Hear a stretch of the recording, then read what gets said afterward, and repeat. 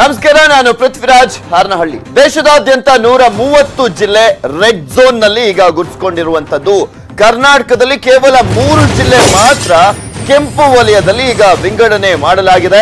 ಕೇಂದ್ರದಿಂದ ಪರಿಷ್ಕೃತ ಪಟ್ಟಿಯನ್ನ ಪ್ರಕಟ ಮಾಡಲಾಗಿದೆ. ಪರಿಷ್ಕೃತ ಪಟ್ಟಿ ಈಗ ಕೇಂದ್ರದಿಂದ ಮಾಡಲಾಗಿರುವಂತದ್ದು ಅದರಲ್ಲಿ ಕರ್ನಾಟಕದಿಂದ ಕೇವಲ ಮೂರು ಜಿಲ್ಲೆಗಳು ಮಾತ್ರ ಕೆಂಪು ವಲಯದಲ್ಲಿ ಈಗ ಇರುವಂತದ್ದು ರಾಜ್ಯದಲ್ಲಿ ಕಿತ್ತಳೆ ವಲಯ, ಅಂದ್ರೆ ಆರೆಂಜ್ ವಲಯದಲ್ಲಿ ಒಟ್ಟು ಹದಿಮೂರು ಜಿಲ್ಲೆಗಳಿದ್ದಾವೆ. ಇನ್ನ ಹಸಿರು ವಲಯದಲ್ಲಿ ಒಟ್ಟು ಹದಿನಾಲ್ಕು ಜಿಲ್ಲೆಗಳು ಇರುವಂತದ್ದು ಈಗ. ಕೇಂದ್ರದಿಂದ ಪರಿಷ್ಕೃತ ಪಟ್ಟಿಯನ್ನು ಈಗ ಪ್ರಕಟ ಮಾಡಲಾಗಿದೆ. ಯಾವ ರೀತಿಯಾಗಿ ಅದನ್ನ ಡಿವೈಡ್ ಮಾಡಿದ್ದಾರೆ ಅನ್ನೋದು ಗೊತ್ತಾಗಬೇಕಾಗಿದೆ. ರೆಡ್ ಝೋನ್ ಏರಿಯಾಗಳನ್ನ ಯಾಕೆಂದ್ರೆ ಕೇವಲ ಮೂರು ಜಿಲ್ಲೆಗಳನ್ನ ಮಾತ್ರ ಅಲ್ಲಿ ರೆಡ್ ಝೋನ್ ಏರಿಯಾಗಳನ್ನಾಗಿ ಗುರುತಿಸಲಾಗಿರುವಂತದ್ದು ದೇಶದಾದ್ಯಂತ ನೂರ ಮೂವತ್ತು ಜಿಲ್ಲೆ ರೆಡ್ ಝೋನ್ ಅಲ್ಲಿದ್ದಾವೆ. ಇನ್ನ ದೇಶದಾದ್ಯಂತ ಟೋಟಲ್ ಆಗಿ ಇನ್ನೂರ ಎಂಬತ್ನಾಲ್ಕು ಜಿಲ್ಲೆ ಆರೆಂಜ್ ವಲಯದಲ್ಲಿ ಇರುವಂತದ್ದು. ಹಾಗೆ ದೇಶದಾದ್ಯಂತ ಮುನ್ನೂರ ಹತ್ತೊಂಬತ್ತು ಜಿಲ್ಲೆಗಳು ಗ್ರೀನ್ ಝೋನ್ನಲ್ಲಿ ಇದಾವೆ ಯು ಯುಪಿಯ ಅಂದ್ರೆ ಉತ್ತರ ಪ್ರದೇಶದ ಹತ್ತೊಂಬತ್ತು ಜಿಲ್ಲೆಗಳು ರೆಡ್ ಝೋನ್ ನಲ್ಲಿದ್ದಾವೆ ಮಹಾರಾಷ್ಟ್ರದ ಹದಿನಾಲ್ಕು, ತಮಿಳುನಾಡಿನ ಹನ್ನೆರಡು, ದೆಹಲಿಯ ಹನ್ನೊಂದು ಜಿಲ್ಲೆ. ಇಲ್ಲಿ ರೆಡ್ ಝೋನ್ನಲ್ಲಿ ಈಗ ಪರಿಷ್ಕೃತ ಪಟ್ಟಿಯಲ್ಲಿ ವಿಂಗಡಣೆ ಮಾಡಿರುವಂತದ್ರಲ್ಲಿ ಬಂದಿರುವಂತದ್ದು ಕರ್ನಾಟಕದಿಂದ ಕೇವಲ ಮೂರು ಜಿಲ್ಲೆಗಳು ಮಾತ್ರ ರೆಡ್ ಝೋನ್ ಪರಿಷ್ಕೃತ ಪಟ್ಟಿಯಲ್ಲಿ ಇದ್ದಾವೆ. ಆ ಜಿಲ್ಲೆಗಳು ಯಾವುದು ಅನ್ನೋದು ಇನ್ನಷ್ಟೇ ಗೊತ್ತಾಗ್ಬೇಕು. ಪಕ್ಕ ಬೆಂಗಳೂರಂತೂ ಇದ್ದೇ ಇರುತ್ತೆ. ಇನ್ನು ಉಳಿದಂತೆ ಮೇನ್ ಆಗಿ ಸಾಕಷ್ಟು ಸೋಂಕಿತರು ಇರುವಂತಹ ಜಿಲ್ಲೆಗಳು ಅಂದ್ರೆ ಮೈಸೂರು ಇತ್ತು, ಕಲಬುರಗಿ ಇತ್ತು, ವಿಜಯಪುರ ಇತ್ತು, ಬೆಳಗಾವಿ ಇತ್ತು. ಇದ್ರಲ್ಲಿ ಮೂರು ಯಾವ್ದನ್ನ ತಗೊಂಡಿದ್ದಾರೆ ಅನ್ನೋದು ಗೊತ್ತಾಗಬೇಕು. ಇದೆಲ್ಲದ್ರ ಬಗ್ಗೆ ಮತ್ತಷ್ಟು ಡೀಟೇಲ್ಸ್ ಅನ್ನ ನೀಡ್ತಾರೆ ನಮ್ಮ ಪ್ರತಿನಿಧಿ ಧರಣೀಶ್ ಬೂಕನಕೆರೆ ದೂರವಾಣಿ ಸಂಪರ್ಕದಲ್ಲಿದ್ದಾರೆ. ಎಸ್, ಧರಣೀಶ್, ಯಾವ ರೀತಿಯಾಗಿ ವಿಂಗಡಣೆ ಆಗಿದೆ ಅಂತ ರೆಡ್ ಝೋನ್ ಅಂದ್ರೆ ಈಗ ಕೇವಲ ಮೂರು ಮಾತ್ರ ಕಂಡು ಬರ್ತಾ ಇದೆಯಲ್ಲ ಕರ್ನಾಟಕದಲ್ಲಿ? ಯಾವುದು ಅಂತ ಗೊತ್ತಾಗ್ತಾ ಇದೆ? ಎಷ್ಟು ಪ್ರಕರಣಗಳು ಇದ್ರೆ ಈಗ ರೆಡ್ ಝೋನ್ ಅಂತ ಪರಿಗಣಿಸಲಾಗ್ತಾ ಇದೆ? ಮೇ ಮೂರನೇ ತಾರೀಕಿಗೆ ಲಾಕ್ಡೌನ್ನ ಅವಧಿ ಮುಕ್ತಾಯ ಆಗ್ತದೆ ಮೇ ನಾಲ್ಕರಿಂದ ಹೊಸ ಮಾರ್ಗಸೂಚಿಯನ್ನ ಕೇಂದ್ರ ಸರ್ಕಾರ ಬಿಡುಗಡೆ ಮಾಡಬೇಕಾಗುತ್ತೆ. ಇದೇ ಹಿನ್ನೆಲೆಯಲ್ಲಿ ಈಗ ಕೇಂದ್ರದ ಆರೋಗ್ಯ ಮತ್ತು ಕುಟುಂಬ ಕಲ್ಯಾಣ ಇಲಾಖೆ ದೇಶಾದ್ಯಂತ ಝೋನ್ಗಳನ್ನ ಅಂದ್ರೆ ಹಳದಿ ಹಸಿರು ಮತ್ತು ಕೆಂಪು ವಲಯಗಳನ್ನ ಗುರುತಿಸಿ ಪರಿಷ್ಕೃತ ಪಟ್ಟಿಯನ್ನ ಬಿಡುಗಡೆ ಮಾಡಿದೆ. ಗುರುವಾರ ಬಿಡುಗಡೆ ಮಾಡಿ, ಗುರುವಾರ ಅಂದ್ರೆ ಇಡೀ ವಾರದ ಒಂದು ಪರಿಶೀಲನೆ ನಡೆಸುತ್ತೆ ಸೊ ಪ್ರತಿ ಗುರುವಾರ ಈ ಪ್ರಕ್ರಿಯೆ ನಡೆಯುತ್ತೆ. ಆ ಪ್ರಕ್ರಿಯೆ ನಂತರ ವಲಯಗಳನ್ನ ಗುರುತಿಸಲಾಗುತ್ತೆ. ಪರಿಷ್ಕೃತ ಪಟ್ಟಿಯನ್ನ ಬಿಡುಗಡೆ ಮಾಡಲಾಗುತ್ತೆ. ಅದೇ ರೀತಿ ನಿನ್ನೆ ನಡೆದಂತಹ ಸಭೆ ಸಭೆಯ ಬಳಿಕ ಈಗ ಕೇಂದ್ರ ಸರ್ಕಾರ ಪಟ್ಟಿ ಬಿಡುಗಡೆ ಮಾಡಿದೆ. ಅದರಲ್ಲಿ ನೂರ ಮೂವತ್ತು ಕೆಂಪು ವಲಯ ಇನ್ನೂರ ಎಂಬತ್ನಾಲ್ಕು ಹಳದಿ ವಲಯ ಮತ್ತು ಮುನ್ನೂರ ಹತ್ತೊಂಬತ್ತು ಹಸಿರು ವಲಯಗಳನ್ನಾಗಿ ಗುರುತಿಸಿದೆ. ಕರ್ನಾಟಕದ ವಿಷಯವನ್ನು ನೋಡೋದಾದ್ರೆ ಕರ್ನಾಟಕದಲ್ಲಿ ಮೂರು ಜಿಲ್ಲೆಗಳನ್ನ ಕೆಂಪು ವಲಯ ಅಂತೇಳಿ ಹದಿಮೂರು ಜಿಲ್ಲೆಗಳನ್ನ ಹಳದಿ ವಲಯ ಅಂತ ಮತ್ತು ಹದಿನಾಲ್ಕು ಜಿಲ್ಲೆಗಳನ್ನ ಅದು ಹಸಿರು ವಲಯ ಅಂತೇಳಿ ಕೇಂದ್ರದ ಆರೋಗ್ಯ ಇಲಾಖೆ ಪತ್ತೆ ಹಚ್ಚಿದೆ. ಈಗ ಇದರ ಆಧಾರದ ಮೇಲೆ ಲಾಕ್ಡೌನ್ ನಿಯಮಗಳನ್ನ ಜಾರಿಗೊಳಿಸಲಾಗುತ್ತೆ. ಅದ್ ಹೇಳಿದಂತೆ ಮೇ ನಾಲ್ಕನೇ ತಾರೀಕಿನ ನಂತರ ಹೊಸ ಮಾರ್ಗಸೂಚಿ ಬರುತ್ತೆ. ಅಲ್ಲಿ ಯಾವ್ಯಾವ ವಲಯಗಳಲ್ಲಿ ಯಾವ್ಯಾವ ಮಾರ್ಗಸೂಚಿಗಳು ಇರಬೇಕು ಯಾವ್ಯಾವ ನಿಯಮಗಳನ್ನ ಅನುಸರಿಸಬೇಕು ಅನ್ನುವಂಥದ್ದನ್ನ ಅದನ್ನ ಕೇಂದ್ರ ಗೃಹ ಇಲಾಖೆ ನಿರ್ಧಾರವನ್ನ ಮಾಡುತ್ತೆ. ಈಗ ಕೇಂದ್ರ ಆರೋಗ್ಯ ಇಲಾಖೆ ವಲಯಗಳನ್ನ ಗುರುತಿಸಿ ಹೊಸ ಪರಿಷ್ಕೃತ ಪಟ್ಟಿಯನ್ನ ಬಿಡುಗಡೆ ಮಾಡಿದೆ. ಕರ್ನಾಟಕದಲ್ಲಿ ಯಾವ್ಯಾವ ಜಿಲ್ಲೆಗಳಲ್ಲಿ ಯಾವ್ಯಾವ ವಲಯಗಳಿವೆ ಅನ್ನುವಂಥದ್ದನ್ನ ರಾಜ್ಯ ಆರೋಗ್ಯ ಇಲಾಖೆ ನಿರ್ಧರಿಸಬೇಕು. ಅಂದ್ರೆ ಆ ಪಟ್ಟಿಯನ್ನ ಅದು ಬಿಡುಗಡೆ ಮಾಡುತ್ತೆ ಕೇಂದ್ರ ಸರ್ಕಾರ ಮತ್ತು ಕೇಂದ್ರದ ಆರೋಗ್ಯ ಇಲಾಖೆ ಈ ಗುರುತಿಸಿದ್ರು ಕೂಡ. ಯಾಕಂದ್ರೆ ಜಿಲ್ಲಾ ಮಟ್ಟದಿಂದ ಜಿಲ್ಲಾಧಿಕಾರಿಗಳಿಂದ, ಜಿಲ್ಲಾ ಆರೋಗ್ಯಾಧಿಕಾರಿಗಳಿಂದ ಮಾಹಿತಿಯನ್ನ ತರಿಸಿಕೊಂಡು ಈ ರೀತಿಯ ಪಟ್ಟಿಯನ್ನ ನಿರ್ಧ- ನಿರ್ಧರಿಸಿರುತ್ತೆ ಕೇಂದ್ರದ ಆರೋಗ್ಯ ಇಲಾಖೆ. ಮತ್ತೆ ರಾಜ್ಯ ಸರ್ಕಾರಕ್ಕೆ ಈ ಸಂಬಂಧಪಟ್ಟಂತ ಅಲರ್ಟ್ ಮಾಡಿರುತ್ತೆ. ಹಾಗಾಗಿ ರಾಜ್ಯ ಸರ್ಕಾರದ ಅದರಲ್ಲೂ ರಾಜ್ಯದ ಆರೋಗ್ಯ ಇಲಾಖೆ ಬಳಿ ಈ ಮಾಹಿತಿಗಳು ಇರ್ತವೆ. ರಾಜ್ಯ ಆರೋಗ್ಯ ಇಲಾಖೆಗೆ ಈ ಮಾಹಿತಿಯನ್ನ ಮತ್ತು ಗೃಹ ಇಲಾಖೆ ಮಾರ್ಗಸೂಚಿ ಎರಡನ್ನೂ ತಿಳಿಸುತ್ತೆ. ರಾಜ್ಯ ಆರೋಗ್ಯ ಇಲಾಖೆ ಯಾವ್ಯಾವ ಜಿಲ್ಲೆಗಳು ಬೆಂಗಳೂರಿನ ಈಗ ಫಾರ್ ಎಕ್ಸಾಂಪಲ್ ಕರ್ನಾಟಕದ ಮೂರು ಕೆಂಪು ವಲಯಗಳು ಯಾವ್ಯಾವುದು ಅನ್ನುವಂತ ಮಾಹಿತಿಯನ್ನ ರಾಜ್ಯ ಆರೋಗ್ಯ ಇಲಾಖೆ ತಿಳಿಸ್ಬೇಕಾಗತ್ತೆ ಓಕೆ ಥ್ಯಾಂಕ್ ಯು ಧರ್ಣೇಶ್ ನಿಮ್ಮೆಲ್ಲ ಡೀಟೇಲ್ಸ್ಗಾಗಿ ಇನ್ನು ಒಂದ್ ಕಡೆ ರಾಜ್ಯದಲ್ಲಿ ಸೋಂಕಿತರ ಸಂಖ್ಯೆ ಹೆಚ್ಚಾಗ್ತಾ ಇರುವಂತ ಹಿನ್ನೆಲೆಯಲ್ಲಿ ಕೊರೋನಾ ಟೆಸ್ಟ್ ಲ್ಯಾಬ್ಗಳನ್ನ ಹೆಚ್ಚಿಸಿದೆ. ಸರ್ಕಾರ, ವೈದ್ಯಕೀಯ ಶಿಕ್ಷಣ ಸಚಿವ ಸುಧಾಕರ್ ಅವರು ಈ ಒಂದು ವಿಚಾರಕ್ಕೆ ಸಂಬಂಧಪಟ್ಟಂತೆ ಟ್ವೀಟ್ ಅನ್ನ ಮಾಡಿದ್ದಾರೆ. ರಾಜ್ಯದಲ್ಲಿ ಸೋಂಕಿತರ ಸಂಖ್ಯೆ ಹೆಚ್ಚಾಗ್ತಾ ಇರುವಂತಹ ಹಿನ್ನೆಲೆಯಲ್ಲಿ ಕೊರೋನಾ ಟೆಸ್ಟ್ ಲ್ಯಾಬ್ ಅನ್ನ ಹೆಚ್ಚಿಸಿದೆ ಸರ್ಕಾರ.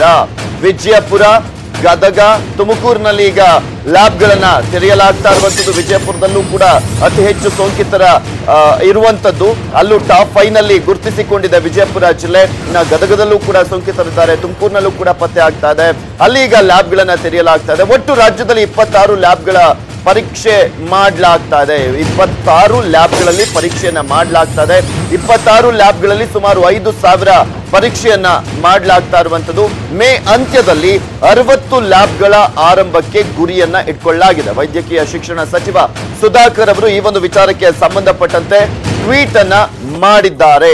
ಇನ್ನ ಹೆಚ್ಚಿನ ಲ್ಯಾಬ್ಗಳನ್ನ ತೆಗೆಯುವ ತೆರೆಯುವಂತ ವಿಚಾರಕ್ಕೆ ಸಂಬಂಧಪಟ್ಟಂತೆ ಅವರು ಟ್ವೀಟ್ ಅನ್ನ ಮಾಡಿರುವಂತದ್ದು ಯಾಕೆಂದ್ರೆ ಸೋಂಕಿತರ ಸಂಖ್ಯೆ ದಿನದಿಂದ ದಿನಕ್ಕೆ ಹೆಚ್ಚಾಗ್ತಾ ಇದೆ. ಸೊ, ಹೀಗಾಗಿನೇ ಮತ್ತೆ ಹೆಚ್ಚಿನ ಲ್ಯಾಬ್ಗಳು ಕಾರ್ಯಾರಂಭ ಮಾಡ್ತವೆ ಅಂತ ಅವರು ತಿಳಿಸಿರುವಂತದ್ದು ಫೆಬ್ರವರಿಯಲ್ಲಿ ಎರಡು ಲ್ಯಾಬ್ನಿಂದ ಈಗ ನಾವು ಇಪ್ಪತ್ತಾರು ಲ್ಯಾಬ್ಗಳಿಗೆ ಬಂದು ತಲುಪಿದ್ದಾವೆ.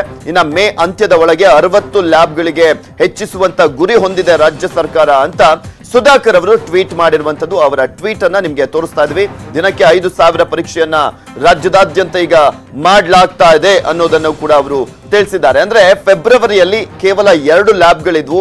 ಈಗ ರಾಜ್ಯದಲ್ಲಿ ಇಪ್ಪತ್ತಾರು ಲ್ಯಾಬ್ಗಳಿದಾವೆ.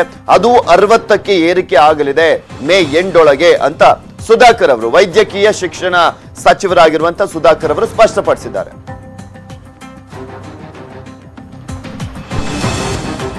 ಇನ್ನ ವೈದ್ಯಕೀಯ ಸಿಬ್ಬಂದಿಗಳು ಸಾಕಷ್ಟು ಹರಸಾಹಸ ಪಡ್ತಾ ಇದ್ದಾರೆ. ತಮ್ಮ ಪ್ರಾಣವನ್ನು ಕೂಡ ಒತ್ತೆ ಇಟ್ಟು ಅವರೆಲ್ಲರಿಗೂ ಕೂಡ ಚಿಕಿತ್ಸೆಯನ್ನು ನೀಡ್ತಾ ಇರುವಂತದ್ದು ಇಂತಹ ಸಂದರ್ಭದಲ್ಲಿ ಒಂದು ಶಾಕಿಂಗ್ ನ್ಯೂಸ್ ವೈದ್ಯಕೀಯ ವಿದ್ಯಾರ್ಥಿಗಳಿಗೆ ಬಿಗ್ ಶಾಕಿಂಗ್ ನ್ಯೂಸ್ ಅನ್ನು ನೀಡಿದೆ.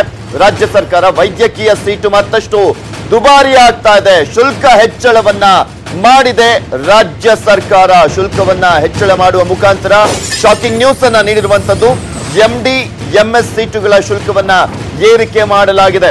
ವೈದ್ಯಕೀಯ ದಂತ ವೈದ್ಯಕೀಯ ಕೋರ್ಸ್ಗಳ ಶುಲ್ಕವನ್ನ ಕೂಡ ಹೆಚ್ಚಳ ಮಾಡಲಾಗಿದೆ. ಖಾಸಗಿ ಕಾಲೇಜು ಖಾಸಗಿ ವಿವಿ ಮತ್ತು ಡಿಮ್ಡ್ ವಿವಿಗಳಲ್ಲಿ ಏರಿಕೆಯನ್ನ ಮಾಡಲಾಗಿರುವಂತದ್ದು ಆ, ಖಾಸಗಿ ಕೋಟಾದಲ್ಲಿ ಶೇಕಡ ಮೂವತ್ತರಷ್ಟು ಹೆಚ್ಚಳ ಮಾಡಲಾಗಿದೆ. ಶೇಕಡ ಮೂವತ್ತರಷ್ಟು ಅಂದ್ರೆ ಅದು ಸುಮಾರು ಒಂದೂವರೆಯಿಂದ ಎರಡು ಲಕ್ಷ ಹತ್ತತ್ರ ಬರುತ್ತೆ. ಮೂವತ್ತರಷ್ಟು ಹೆಚ್ಚಳ ಅಂತ ಬಂದಿದೆ ಅದಲ್ಲಿ ಕೋಟಾದಲ್ಲಿ ಇನ್ನೂ ಕಡೆ ಸರ್ಕಾರಿ ಕೋಟಾದಲ್ಲಿ ಶೇಕಡ ಇಪ್ಪತ್ತರಷ್ಟು ಏರಿಕೆಯನ್ನ ಮಾಡಲಾಗ್ತಾ ಇರುವಂತದ್ದು ಎರಡು ಸಾವಿರದ ಇಪ್ಪತ್ತು, ಇಪ್ಪತ್ತೊಂದನೇ ಸಾಲಿಗೆ ಈ ಒಂದು ಹೊಸ ಶುಲ್ಕ ಅನ್ವಯ ಆಗ್ತಾ ಇದೆ. ನಿಜಕ್ಕೂ ಇದು ಅತಿ ದೊಡ್ಡ ಶಾಕಿಂಗ್ ನ್ಯೂಸ್ ಮೆಡಿಕಲ್ ವಿದ್ಯಾರ್ಥಿಗಳಿಗೆ. ಮೊದಲೇ ಅತಿ ಹೆಚ್ಚು ಶುಲ್ಕ ಇರುವಂತದ್ದು. ಅದರಲ್ಲಿ ಈಗ ಖಾಸಗಿ ಅಂದ್ರೆ ಆ ಕೋಟಾದಡಿಯಲ್ಲಿ ಮೂವತ್ತು ಪರ್ಸೆಂಟ್ ಏರಿಕೆ ಮಾಡಲಾಗ್ತಾ ಇದೆ. ಸರ್ಕಾರಿ ಕೋಟಾದಡಿಯಲ್ಲಿ ಇಪ್ಪತ್ತು ಪರ್ಸೆಂಟ್ ಅಷ್ಟು ಏರಿಕೆ ಮಾಡಲಾಗ್ತಾ ಇದೆ. ಯಾಕೆ ಈ ರೀತಿಯಾಗಿ ಇಷ್ಟು ದೊಡ್ಡ ಒಂದು ಶಾಕಿಂಗ್ ನ್ಯೂಸ್ ಅನ್ನ ಕೊಡ್ಲಿಕ್ಕೆ ಮುಂದಾಯ್ತು ರಾಜ್ಯ ಸರ್ಕಾರ ಅನ್ನೋದು ಗೊತ್ತಾಗ್ಬೇಕಾಗಿರುವಂತದ್ದು ಈಗ ಆಲ್ರೆಡಿ ಅಂದ್ರೆ ನಾಲ್ಕು ಲಕ್ಷದ ಅರವತ್ತು ಸಾವಿರ ಏನೋ ಇತ್ತು ಆ ಒಂದು ಖಾಸಗಿ ಶುಲ್ಕ ಈ ಮೆಡಿಕಲ್ ಸೀಟುಗಳಿಗೆ ಈಗ ಅದು ಆರು ಲಕ್ಷದ ಇಪ್ಪತ್ತು ಸಾವಿರಕ್ಕೆ ಏರಿಕೆ ಆಗ್ತಾ ಇದೆಯಂತೆ. ಜಸ್ಟ್ ಕೆಲವು ಹೊತ್ತಿನ ಹಿಂದಷ್ಟೇ ಒಬ್ರು ಮೆಡಿಕಲ್ ಸ್ಟೂಡೆಂಟ್ ಮಾತಾಡ್ತಾ ಹೇಳ್ತಾ ಇದ್ರು. ಸುಮಾರು ಒಂದು ಲಕ್ಷದ ನಲವತ್ತು ಸಾವಿರದಷ್ಟು ಏರಿಕೆ ಆಗ್ತಾ ಇದೆ. ಖಾಸಗಿ ಶುಲ್ಕ ಅಂತೆಲ್ಲ ಅವರು ಹೇಳ್ತಾ ಇದ್ರು. ದಯವಿಟ್ಟು ಸರ್ಕಾರ ಇದ್ರ ಬಗ್ಗೆ ಗಮನ ಹರಿಸಬೇಕು ಅನ್ನೋದ್ರ ಬಗ್ಗೆನೂ ಕೂಡ ಹೇಳ್ತಾ ಇದ್ದಂಥದ್ದು ಈಗ ಗಮನಿಸ್ತಾ ಇದೀವಿ. ಶೇಕಡ ಮೂವತ್ತರಷ್ಟು ಖಾಸಗಿ ಶುಲ್ಕ ಏರಿಕೆ ಆಗ್ತಾ ಇದ್ರೆ ಸರ್ಕಾರಿ ಕೋಟಾದ ಅಡಿಯಲ್ಲಿ ಇಪ್ಪತ್ತರಷ್ಟು ಶುಲ್ಕವನ್ನ ಏರಿಕೆ ಮಾಡಲಾಗ್ತಾ ಇದೆ. ಅದರ ಏರಿಕೆಯ ಶುಲ್ಕವನ್ನ ಕೂಡ ನಿಮಗೆ ತೋರಿಸ್ತಾ ಇದೀವಿ. ಎಷ್ಟೆಷ್ಟು ಏರಿಕೆ ಆಗಿದೆ ಅನ್ನೋದನ್ನ ಎಲ್ಲದರಲ್ಲೂ ಕೂಡ ಈಗ ಏರಿಕೆ ಮಾಡಲಾಗಿದೆ. ಅಂದ್ರೆ ವೈದ್ಯಕೀಯ ಇಲಾಖೆಯಲ್ಲಿ ಬರುವಂತ, ಅದರ ಅಡಿಯಲ್ಲಿ ಬರುವಂತ ಎಲ್ಲಾ ಕೋರ್ಸ್ಗಳ ಒಂದು ಶುಲ್ಕವನ್ನ ಕೂಡ ಹೆಚ್ಚಿಗೆ ಮಾಡಲಾಗಿರುವಂತದ್ದು ಖಾಸಗಿ ಕಾಲೇಜ್ ಆಗಿರ್ಬೋದು, ಖಾಸಗಿ ವಿವಿ ಮತ್ತು ಡಿಮ್ಡ್ ವಿವಿಗಳಲ್ಲಿ ಏರಿಕೆ ಮಾಡಲಾಗಿದೆ. ವೈದ್ಯಕೀಯ ದಂತ ವೈದ್ಯಕೀಯ ಕೋರ್ಸ್ಗಳ ಶುಲ್ಕ ಏರಿಕೆ ಆಗಿರುವಂತದ್ದು ಇನ್ನು ಈ ಕುರಿತಂತೆ ಮಾತಾಡ್ಲಿಕ್ಕೆ ವೈದ್ಯಕೀಯ ಶಿಕ್ಷಣ ಸಚಿವರಾಗಿರುವಂತ ಸುಧಾಕರ್ ಅವರು ನಮ್ಮ ಜೊತೆ ದೂರವಾಣಿ ಸಂಪರ್ಕದಲ್ಲಿದ್ದಾರೆ. ನಮಸ್ಕಾರ ಸರ್. ನಮಸ್ಕಾರ. ಸರ್ ಒಂದು ಶಾಕಿಂಗ್ ನ್ಯೂಸ್ ಇದು. ವೈದ್ಯಕೀಯ ವಿದ್ಯಾರ್ಥಿಗಳಿಗೆ ಖಾಸಗಿ ಇಲಾಖೆಯಲ್ಲಿ ಮೂವತ್ತು ಪರ್ಸೆಂಟ್ ಏರಿಕೆ ಆಗಿದೆ. ಇನ್ನೊಂದ್ ಕಡೆ ಸರ್ಕಾರಿ ಕೋಟಾದಡಿಯಲ್ಲಿ ಇಪ್ಪತ್ತು ಪರ್ಸೆಂಟ್ ಏರಿಕೆ ಆಗಿರುವಂತದ್ದು ಏನ್ ಹೇಳ್ತೀರಾ? ಯಾಕೆ ಇಷ್ಟೊಂದು ಏರಿಕೆ ಆಯ್ತು ಅಂತ? ಸರ್ಕಾರಿ ವೈದ್ಯಕೀಯ ಕಾಲೇಜುಗಳಲ್ಲಿ ಯಾವುದೇ ಶುಲ್ಕ ಏರಿಕೆ ಆಗಿಲ್ಲ. ಪೋಸ್ಟ್ ಗ್ರಾಜುಯೇಷನ್ ನೀವು ಹೇಳ್ತಾ ಇರೋದು. ಇನ್ನೂ ಕೂಡ ನಮ್ಮ ಗ್ರಾಜುಯೇಷನ್ ಸ್ಟಾರ್ಟೇ ಆಗಿಲ್ಲ. Under graduation courses okay. Post graduation ಅಲ್ಲಿ ಈಗ ಎರಡು ಸಾವಿರದ ಹದಿನೇಳರಿಂದ ಕೌನ್ಸಿಲಿಂಗ್ ಇವತ್ತು ಸೆಂಟ್ರಲೈಸ್ಡ್ ಮಾಡಿದೆ ಆಫ್ಟರ್ ಸುಪ್ರೀಂ ಕೋರ್ಟ್ ಜಡ್ಜ್ಮೆಂಟ್ ಮೊದಲು ಕೋವಿಡ್ ಕಾಮೆಡ್ ಏನಿತ್ತು ಕಾಮೆಡ್ ಅವರೇ ಸಪರೇಟ್ ಮಾಡ್ಕೊಳ್ತಾ ಇದ್ರು. ರಿಲಿಜಿಯಸ್ ಮತ್ತು ಲಿಂಗ್ವಿಸ್ಟಿಕ್ ಯೂನಿವರ್ಸಿಟೀಸ್ ಏನಿತ್ತು ಅವರು ಸಪರೇಟ್ ಮಾಡ್ಕೊಳ್ತಾ ಇದ್ರು. ಕರ್ನಾಟಕ ರಾಜ್ಯದಲ್ಲಿ ಏನಾಗಿದೆ ಅರವತ್ತು ವೈದ್ಯಕೀಯ ಕಾಲೇಜ್ ಇದೆ. ಇದರಲ್ಲಿ ಹದಿನೇಳು ಮಾತ್ರ ಸರ್ಕಾರಿ ವೈದ್ಯಕೀಯ ಕಾಲೇಜು. ಈ ಹದಿನೇಳು ಸರ್ಕಾರಿ ವೈದ್ಯಕೀಯ ಕಾಲೇಜಲ್ಲಿ ಯಾವುದೇ ರೀತಿಯ ನಾವು ಶುಲ್ಕವನ್ನ ಹೆಚ್ಚಳ ಮಾಡಿಲ್ಲ ಈ ವರ್ಷ ಕೂಡ. ಈ ಬೇರೆ ಯೂನಿವರ್ಸಿಟೀಸ್ ಇದೆಯಲ್ಲ ಈಗ ಅವರು ಅವ್ರದ್ದೇ ಆದಂತ ಸ್ವಾಯತ್ತತೆಯನ್ನ ಮಾಡ್ಕೊಂಡಿದ್ದಾರೆ. ಅವರು ನಮ್ಮ ಸರ್ಕಾರಕ್ಕೆ ಒಂದ್ ಸೀಟ್ ಕೂಡ ಕೊಡೋದಿಲ್ಲ. ಅಂತದ್ದು ಸುಮಾರು ಹದಿನೈದು ಇನ್ಸ್ಟಿಟ್ಯೂಷನ್ಸ್ ಇದೆ. ಅವರು ಯಾವುದೇ ಕಾರಣಕ್ಕೂ ನಮ್ಮ ಸರ್ಕಾರಕ್ಕಾಗ್ಲಿ ಸರ್ಕಾರದ ನಮ್ಮ ರಾಜ್ಯ ಸರ್ಕಾರದ ಹುಡುಗರಿಗಾಗ್ಲಿ ಕೊಡ್ತಾ ಇಲ್ಲ. ಇನ್ನು ಮಿಕ್ಕಿರ್ತಕ್ಕಂಥ ಕಾಮೆಂಟ್ ಮತ್ತು ರಿಲಿಜಿಯಸ್ ಮತ್ತು ಲಿಂಗ್ವಿಸ್ಟಿಕ್ ಕಾಲೇಜ್ನವ್ರು ಏನಿದೆ ಅವರು ನಮಗೆ ಮೂವತ್ತ್ ಮೂರು ಪರ್ಸೆಂಟ್ ಸರ್ಕಾರಕ್ಕೆ ಕೊಡ್ತಾ ಇದ್ದಾರೆ. ಓಕೆ. ಅವ್ರಿಗೆ ಏನ್ ಸೀಟ್ ಇದೆ ಅದ್ರಲ್ಲಿ ಮೂವತ್ಮೂರು ಪರ್ಸೆಂಟ್ ನಮಗ್ ಕೊಡ್ತಾ ಇದ್ದಾರೆ. ಅದು ಬಿಟ್ಟು ನಲವತ್ತು ಪರ್ಸೆಂಟ್ ವರ್ಗೂ ಕೂಡ ನಲವತ್ತೆರಡು ಪರ್ಸೆಂಟ್ ವರ್ಗೂ ಕೂಡ ಆಲ್ ಇಂಡಿಯಾದಲ್ಲಿ ನೀಟ್ ಅಲ್ಲಿ ಯಾರು ಪಾಲ್ಗೊಳ್ತಾರಲ್ಲ ಅವ್ರಿಗೆ ಸ್ಟೂಡೆಂಟ್ಸ್ಗೆ ಕೂಡ ಅವರು ಕೊಡ್ತಾರೆ ಈಗ ಅಡ್ಮಿಷನ್ಸ್ ಈ ಸರ್ಕಾರಿ ಕೋಟಾದಲ್ಲಿ ಸಿಕ್ಕುವಂತ ಮಕ್ಕಳಿಗೆ ಮತ್ತು ಈಗ ಏನು ನಾನು ಹೇಳಿದ್ನಲ್ಲ ನಿಮಗೆ ಪ್ರೈವೇಟ್ ಯೂನಿವರ್ಸಿಟೀಸ್ ಮತ್ತು ಬೇರೆ ಯೂನಿವರ್ಸಿಟೀಸ್ ಅವ್ರ ಫೀಸು ನಾವು ಕಂಪೇರ್ ಮಾಡಿದಾಗ ಬಹಳ ಹೆಚ್ಚಿದೆ ಅವ್ರದ್ದು. ಹೌದು. ಇವರು ಏನ್ ಕೇಳ್ತಾರೆ ನಮಗೆ ಅಂದ್ರೆ ಕಳೆದ ಎರಡ್ ಸಾವಿರದ ಹದಿನೇಳರಿಂದ ಕೂಡ ಒಂದು ಅಗ್ರಿಮೆಂಟ್ ಮಾಡ್ಕೊಂಡಿದ್ದಾರೆ. ಪ್ರತಿ ವರ್ಷ ಕೂಡ ಹದಿನೈದು ಪರ್ಸೆಂಟ್ ಸ್ವಾಭಾವಿಕವಾಗಿ ಹೆಚ್ಚು ಮಾಡಬೇಕು ಅಂತ ಹೇಳಿ. ಇವರಿಗೆ ಯಾರು ಸರ್ಕಾರಕ್ಕೆ ಸೀಟ್ ಕೊಡ್ತಾರೆ ಈ ಕಾಲೇಜಸ್ ಮಾತ್ರ. ಆ ಕಾಲೇಜಸ್ ಅಲ್ಲಿ ಇವ್ರ ಫೀಸಸ್ ಕಂಪೇರ್ ಮಾಡಿದಾಗ there is almost like disparity ಇದೆ. ಓಕೆ. ಅವ್ರು ನಮ್ಮ ಮಕ್ಕಳಿಗೆ ಸೀಟು ಕೊಡೋದಿಲ್ಲ ಮತ್ತು ಫೀಸು ಕೂಡ ಅಜಗಜಾಂತರ ವ್ಯತ್ಯಾಸ ಇದೆ ಅವ್ರದ್ದು ಇವ್ರಿಗೆ. ಹೌದು ಹೌದು. ಇವ್ರು ಹೇಳ್ತಾರೆ ನೋಡಿ ಸರ್ ನಾವು ಸರ್ಕಾರಕ್ಕೆ ಸೀಟ್ಸ್ ಕೊಟ್ಟು ಸರ್ಕಾರದಿಂದ ನೀವು ನಮ್ಗೇನು ನಮಗೆ ಕೊಡೋದಿಲ್ಲ. ಆದ್ರೂ ನಾವು ಸರ್ಕಾರಕ್ಕೆ ನಿಮಗೆ ಇಷ್ಟು ಸೀಟ್ಸ್ ಕೊಟ್ಟು ನಮ್ ಫೀಸು ಟೂ ಥರ್ಡ್ಸ್ ಕಡಿಮೆ ಇದೆ. ನಾವ್ ಹೆಂಗ್ ನಡೆಸೋದು ಇವತ್ತಿನ ಕಾಲದಲ್ಲಿ? ನಾವು ಮುಚ್ಚುವಂತ ಪರಿಸ್ಥಿತಿ ಸರ್ ಈಗ- ಏರಿಕೆ ಮಾಡೋದಾದ್ರೂ ಕೂಡ ಫಿಫ್ಟೀನ್ ಪರ್ಸೆಂಟ್ ಮ್ಯಾಕ್ಸಿಮಮ್ ಏರಿಕೆ ಮಾಡ್ಬೋದಲ್ವಾ? ಇವ್ರು ದಿಢೀರ್ ಅಂತ ತರ್ಟಿ ಪರ್ಸೆಂಟ್ ಪರ್ಸೆಂಟ್ ಮಿನಿಮಮ್ ಮಾಡ್ಬೇಕು ಅಂತಿದೆ ಮ್ಯಾಕ್ಸಿಮಮ್ ಅಲ್ಲ. ಓಕೆ ಶೇಕಡ ಹದಿನೈದು ಪರ್ಸೆಂಟ್ ಮಾಡೋದಿದೆ. ಓಕೆ ಇವತ್ತು ಸರ್ಕಾರದ ಇದಕ್ಕೆ ಅವರು ಒಂದು ಕಮಿಟಿ ಮಾಡಿತ್ತು. ನಾನು ಮಂತ್ರಿ ಆಗಕ್ಕಿಂತ ಮುಂಚೆನೆ. ಸರ್ಕಾರ ಒಂದು ಕಮಿಟಿ ಮಾಡಿತ್ತು ಕಳೆದ ವರ್ಷ.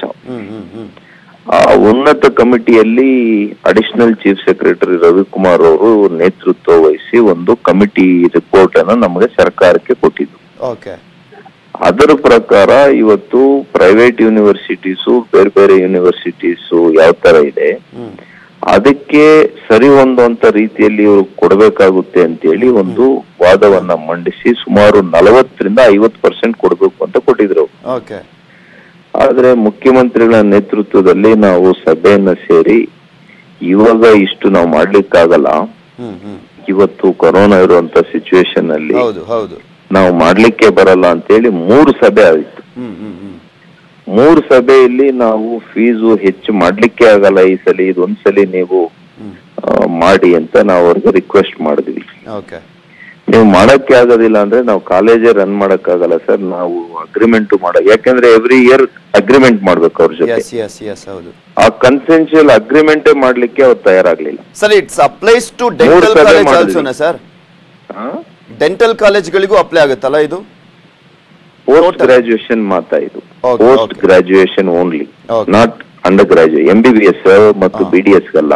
ಓಕೆ ಓಕೆ ಪೋಸ್ಟ್ ಗ್ರಾಜುಯೇಟ್ ಮಿಕ್ಕಿ ಅವ್ರೇನ್ ಹೇಳೋದು? ಔಟ್ ಆಫ್ ದ ಸ್ಟೇಟ್ ಅವ್ರು ಬಂದು ಕೊಡಕ್ ತಯಾರಿದ್ದಾರೆ ಸರ್.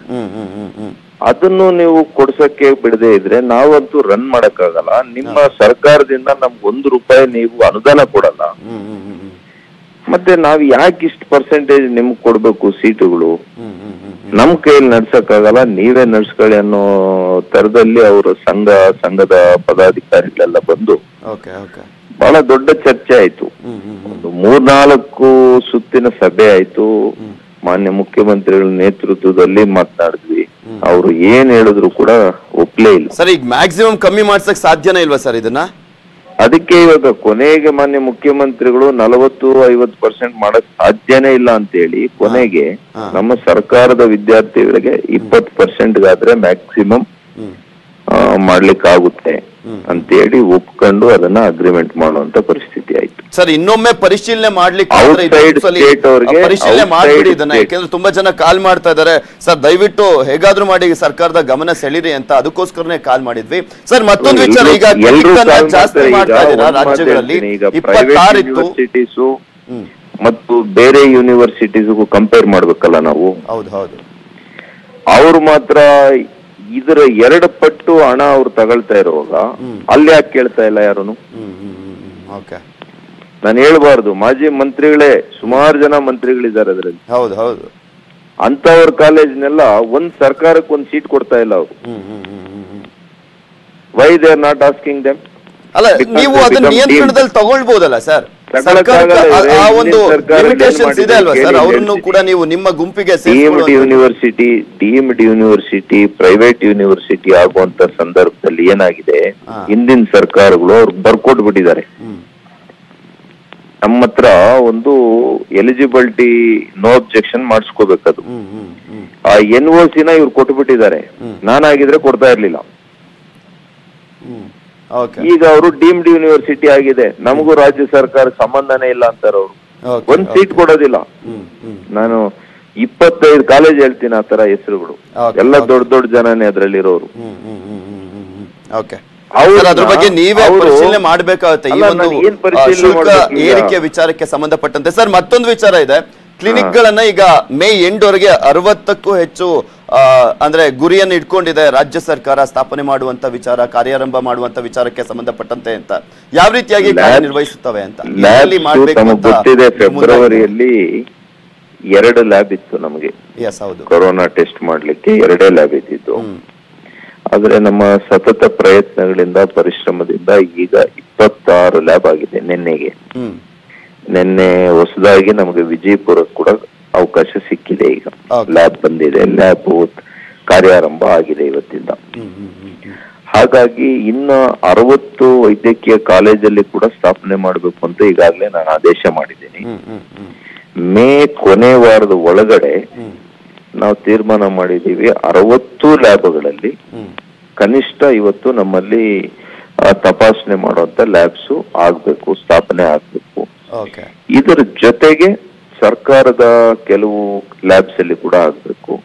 ಕನಿಷ್ಠ ಅರವತ್ತು ಲ್ಯಾಬ್ಗಳ ಒಂದು ಗುರಿಯನ್ನ ಇಟ್ಕೊಂಡಿದೀವಿ. Okay okay thank you so much sir news eighteen ಕನ್ನಡದ ಜೊತೆ ಮಾತನಾಡಿದ್ದಕ್ಕೆ.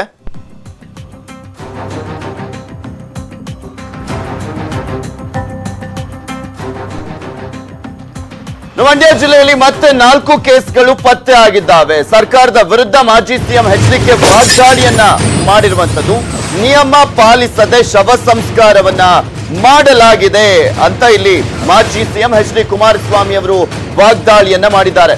ಶವದ ಜೊತೆಗೆ ಬಂದಂತ ನಾಲ್ಕು ಜನರಿಗೆ ಪಾಸಿಟಿವ್ ಬಂದಿದೆ ಅನ್ನೋದನ್ನ ಸ್ಪಷ್ಟಪಡಿಸಿದ್ದಾರೆ ಕುಮಾರಸ್ವಾಮಿ. ಮುಂಬೈನಲ್ಲಿ ಹದಿನೈದರಿಂದ ಹದಿನಾರು ಸಾವಿರ ಮಂಡ್ಯ ಜನರು ಇದ್ದಾರೆ. ಏಳರಿಂದ ಎಂಟು ಸಾವಿರ ಜನ ಹಿಂದಿರುಗಿದ್ದು ಕ್ವಾರಂಟೈನ್ ಮಾಡಿಲ್ಲ ಅನ್ನುವ ಆರೋಪವನ್ನು ಕೂಡ ಮಾಡ್ತಾ ಇದ್ದಾರೆ. ಡಿಸಿ ಅನುಮತಿ ಇಲ್ಲದೆ, ತಪಾಸಣೆ ಇಲ್ಲದೆ ಶವವನ್ನ ತರಲಾಗಿದೆ.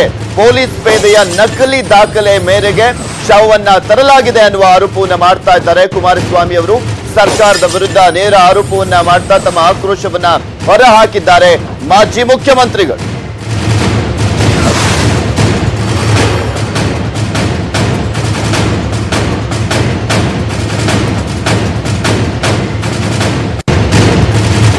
ರಾಮನಗರದಲ್ಲಿ ಡ್ಯಾಮೇಜ್ ಮಾಡ್ಲಿಕ್ಕೆ ಏನು ಹೋದರು. ಅದನ್ನ ನನ್ನ ಒಂದು ಒತ್ತಡದ ಮೇಲೆ ತಕ್ಷಣ ಕ್ರಮ ತೆಗೆದುಕೊಂಡಿದ್ದು ಒಂದು ಭಾಗ. ಈಗ ಮಂಡ್ಯ ಜಿಲ್ಲೆಯಲ್ಲಿ ದೊಡ್ಡ ಮಟ್ಟದ ಅನಾಹುತಗಳು ಪ್ರಾರಂಭ ಆಗಿದೆ. ಅದಕ್ಕೆ ಕಾರಣ ಜಿಲ್ಲೆಯ ಆಡಳಿತ ಅಲ್ಲಿ ನಡ್ಕೋತಾ ಇರತಕ್ಕಂಥ ಅವರ ಒಂದು ನಿರ್ಲಕ್ಷ್ಯ ಮತ್ತು ಲಘುವಾದ ತೀರ್ಮಾನಗಳೇನಿದೆ. ನೋಡಿ, ಮೊನ್ನೆ ದಿನ ಬಾಂಬೆಯಿಂದ ಒಂದು ಶವವನ್ನು ತಗೊಂಡ್ಬರ್ತಾರೆ. ಆ ಶವವನ್ನು ತರಬೇಕಾದ್ರೆ ಯಾವ ರೀತಿಯಲ್ಲಿ ಮುಂಜಾಗ್ರತೆ ಕ್ರಮಗಳನ್ನು ತೆಗೆದುಕೋಬೇಕಾಗಿತ್ತು ತಗೊಳ್ಳಿಲ್ಲ. ನಾನು ಮಾಹಿತಿಗಳನ್ನು ತೆಗೆದರೆ ಇವತ್ತು ಅಲ್ಲಿ ಏನು ಮಂಡ್ಯದಲ್ಲಿ ಒಂದು ಪಾಂಡಪುರದ ಒಂದು ಹಳ್ಳಿಯಲ್ಲಿ ಯಾವೊಂದು ಐದು ಜನಕ್ಕೆ ಪಾಸಿಟಿವ್ ಬಂದಿದೆ, ಆ ಶವದ ಜೊತೆ ಬಂದಂಥವ್ರಿಗೆ ಆ ಶವ ತರಬೇಕಾದ್ರೆ ಫೇಕ್ ಡಾಕ್ಯುಮೆಂಟ್ಗಳನ್ನು ಸೃಷ್ಟಿ ಮಾಡಿದ್ದಾರೆ. ಅಲ್ಲಿ ಜಿಲ್ಲಾಧಿಕಾರಿಗಳಾಗಲಿ, ಪೊಲೀಸ್ ವರಿಷ್ಠಾಧಿಕಾರಿಗಳಾಗಲಿ ಸರ್ಕಾರದ ಗೈಡ್ಲೈನ್ ಏನಿದೆ, ಅದನ್ನು ಸರಿಯಾದ ರೀತಿ ಆ ಗೈಡ್ಲೈನ್ನ ಇವತ್ತು ಜಾರಿಗೆ ತರದೆ ಇವತ್ತಲ್ಲಿ ಏನು ಅಲ್ಲಿ ಶವ ತಂದು ಸುಡಲಿಕ್ಕೆ ಅವಕಾಶ ಕೊಟ್ಟರು ಆ ಶವದ ಜೊತೆ ಬಂದಂಥವರಲ್ಲಿ ಐದು ಜನಕ್ಕೆ ಈಗಾಗಲೇ ಪಾಸಿಟಿವ್ ಇದೆ ಅಂತ ಹೇಳಿದ್ದಾರೆ. ಈಗಾಗಲೇ ನನಗಿರ್ತಕ್ಕಂಥ ಮಾಹಿತಿ ಮಂಡ್ಯ ಜಿಲ್ಲೆಯಲ್ಲಿ ಸುಮಾರು ಹದಿನ ಹದಿನ, ಹದಿನೈದು, ಹದಿನಾರು ಸಾವಿರ ಜನ ಬಾಂಬೆನಲ್ಲೇನಿದ್ದಾರೆ ಆ ಜಿಲ್ಲೆಯ ಜನ. ಏಳೆಂಟು ಸಾವಿರ ಜನ ಇವತ್ತಿಗಾಗಲೇ ಮಂಡ್ಯಕ್ಕೆ ಬಂದುಬಿಟ್ಟಿದ್ದಾರೆ. ಅವ್ರನ್ನ ಬಂದಂಥವ್ರನ್ನ ಸರಿಯಾದ ರೀತಿ ಕ್ವಾರಂಟೈನು ಮಾಡಿಲ್ಲ. ಮಂಡ್ಯದಲ್ಲಿ ಆ ಮುಗ್ಧ ಜನರನ್ನ ಮುಂದಿನ ದಿನಗಳಲ್ಲಿ ಒಂದು ದೊಡ್ಡ ಸಂಕಷ್ಟಕ್ಕೆ ಗುರಿ ಆಗ್ತಕ್ಕಂಥ ಪರಿಸ್ಥಿತಿಗಳು ನಿರ್ಮಾಣ ಆಗ್ತಿದೆ. ಇದಕ್ಕೆ ಅಲ್ಲಿಯ ಜಿಲ್ಲಾಡಳಿತ ಹಲವಾರು ರೀತಿಯಲ್ಲಿ ಒಂದು ರೀತಿಯ ಒಂದು ನಿರ್ಲಕ್ಷ್ಯ ಮನೋಭಾವದಿಂದ ಇವತ್ತು ಅಲ್ಲಿ ಕೊರೋನಾ ಸ್ಪ್ರೆಡ್ ಆಗ್ತಕ್ಕಂಥದ್ದಕ್ಕೆ ಕಾರಣಕರ್ತರಾಗಿದ್ದಾರೆ. ಸರ್ಕಾರ ತಕ್ಷಣ ಕ್ರಮ ತೆಗೆದುಕೋಬೇಕಾಗ್ತದೆ ಯಾವ ಒಂದು ಶವವನ್ನು ತಗೊಂಬಂದರು, ಒಂದು ಫೇಕ್ ಡಾಕ್ಯುಮೆಂಟ್ ಸೃಷ್ಟಿ ಮಾಡ್ಕೊಂಡು ತಂದಿದ್ದಾರೆ. ಯಾರೋ ಒಬ್ಬ ಡಾಕ್ಟರ್ ಪ್ರೈವೇಟ್ ಒಂದು ಕ್ಲಿನಿಕ್ ನಡೆಸ್ತಕ್ಕಂಥ ಡಾಕ್ಟರ್ ಕೊಟ್ಟಂತ ಸರ್ಟಿಫಿಕೇಟು ಅಲ್ಲಿ ಡಿ ಸಿ ಅದಕ್ಕೆ ಪರ್ಮಿಷನ್ ಕೊಟ್ಟಿಲ್ಲ. ಅವನಿಗೆ ಇದು ಕೊರೋನಾ ಎಫೆಕ್ಟಿಂದ ಸತ್ತಿದ್ದಾನೋ ಇನ್ಯಾದಕ್ಕೆ ಸತ್ತಿದ್ದಾನೆ ಅಂತಕ್ಕಂಥದ್ದನ್ನ ಸುಳ್ಳು ಮಾಹಿತಿ ಕೊಟ್ಟು, ಯಾವನ ಅವ, ಹವಾಲ್ದಾರ್ ಯಾರೋ ಒಬ್ಬ ಇದ್ದಾನೆ ಪೊಲೀಸ್ ಕಾನ್ಸ್ಟೇಬಲ್, ಅವನಿಂದ ಒಂದು ಸುಮ್ಮನೆ ಫೇಕ್ ಡಾಕ್ಯುಮೆಂಟ್ ದುಡ್ಡು ಕೊಟ್ಟು ಏನೋ ಮಾಡಿ, ಒಂದು ಸೃಷ್ಟಿ ಮಾಡ್ಕೊಂಡು ಬಾಂಬೆಯಿಂದ ಇಲ್ಲಿಗೆ ತಂದಿದ್ದಾರೆ. ಮೊನ್ನೆ ದಿನ ಐದು ಜನಕ್ಕೀಗ ಆ ಒಂದು ಎಫೆಕ್ಟ್ ಏನಾಗಿದೆ? ಕೊರೋನಾ ಪಾಸಿಟಿವ್ ಇದೆ ಅಂತಕ್ಕಂಥದ್ದು. ಇದು ಸರ್ಕಾರ, ಜನತೆ ಇಷ್ಟೆಲ್ಲ ಲಾಕ್ಡೌನ್ನ ಒಂದು ಘೋಷಣೆ ನಂತರ ಬೆಂಬಲ ಕೊಟ್ಟು ಸರ್ಕಾರಕ್ಕೆ ಸಹಕಾರ ಕೊಟ್ಟಿರ್ತಾರೆ ಈ ಕುರಿತಂತೆ ಹೆಚ್ಚಿನ ಅಪ್ಡೇಟ್ಸ್ ಅನ್ನ ನೀಡ್ತಾರೆ ನಮ್ಮ ಪ್ರತಿನಿಧಿ ನವೀನ್. ನವೀನ್, ಯಾವ ರೀತಿಯಾಗಿ ಆಕ್ರೋಶವನ್ನ ವ್ಯಕ್ತಪಡಿಸಿದ್ರು ಕುಮಾರಸ್ವಾಮಿ ಅವರು ಅಂತ ನೋಡ್ತಾ ಇದ್ವಿ. ಈ ಒಂದು ವಿಚಾರಕ್ಕೆ ಸಂಬಂಧಪಟ್ಟಂತೆ ಏನಾದ್ರು ಪತ್ರವನ್ನ ಬರೆದಿದ್ದಾರಂತ ರಾಜ್ಯ ಸರ್ಕಾರಕ್ಕೆ?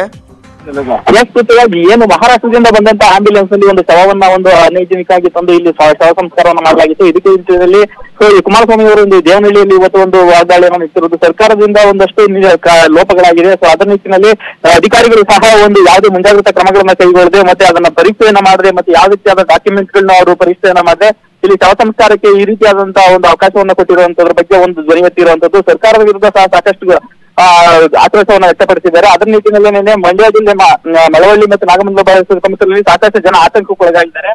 ಜನಗಳು ಸಾಕಷ್ಟು ಜನ, ಸಾಕಷ್ಟು ಜನಗಳಿಗೆ ಸೋಂಕು ಹರಡುವಂತ ಒಂದು ಸಾಧ್ಯತೆ ಇರುತ್ತೆ. ಮತ್ತೆ ಶವದ ಜೊತೆ ಬಂದಂತ ಐದು ಜನಗಳಿಗೆ ಒಂದು ಪಾಸಿಟಿವ್ ಬಂದಿದ್ದಂಥದ್ದು ಮತ್ತೆ ಒಂದು ಐದು, ಇವತ್ತು ನಾಲ್ಕು ಜನಕ್ಕೆ ಎಕ್ಸ್ಟ್ರಾ ಒಂದು ನಾಲ್ಕು ಜನಕ್ಕೆ ಬಂದಿರುವಂತದ್ದು ಮತ್ತೆ ಈ ಆಂಬ್ಯುಲೆನ್ಸ್ಗೆ ಕರ್ನಾಟಕದ ಒಳಗಡೆಗೆ ಎಂಟ್ರಿಯನ್ನ ಕೊಡೋದಕ್ಕೆ ಯಾರು ಕೊಟ್ಟವರು ಮತ್ತೆ ಈ ಆಂಬ್ಯುಲೆನ್ಸ್ಗೆ ಪರ್ಮಿಷನ್ ಅನ್ನು ಕೊಡಬೇಕಾದ್ರೆ ಯಾವುದೇ ಒಂದು ತಪಾಸಣೆ ನಡೆಸಿಲ್ಲ ಮತ್ತೆ ಅಲ್ಲಿಂದ ಒಂದು ಕಾನ್ಸ್ಟೇಬಲ್ ಒಬ್ಬರ ಒಂದು ಅನುಮತಿ ಮೇರೆಗೆ ಒಂದು ಶವವನ್ನ ಇಲ್ಲಿಗೆ ತರಲಾಗಿರುವಂತದ್ದು.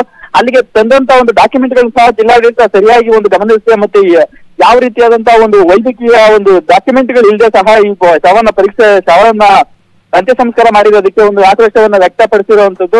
ಈ ನಕಲಿ ದಾಖಲೆಗಳು ಒಂದು ಒಂದು ಒಂದು ದೊಡ್ಡ ಗಂಭೀರವಾದಂತಹ ಆರೋಪವನ್ನ ಮಾಡಿದ್ದಾರೆ. ಈ ಆರೋಪದ ನಲ್ಲಿ ಸರ್ಕಾರ ಇದು ಒಂದು ನಿಟ್ಟಿನಲ್ಲಿ ಭಾಗಿಯಾಗಿರ್ತಕ್ಕಂಥ ಅಧಿಕಾರಿಗಳ ವಿರುದ್ಧ ಕುರಿತು ಒಂದು ಕ್ರಮವನ್ನು ತಗೊಳ್ಬೇಕಾಗಿದೆ.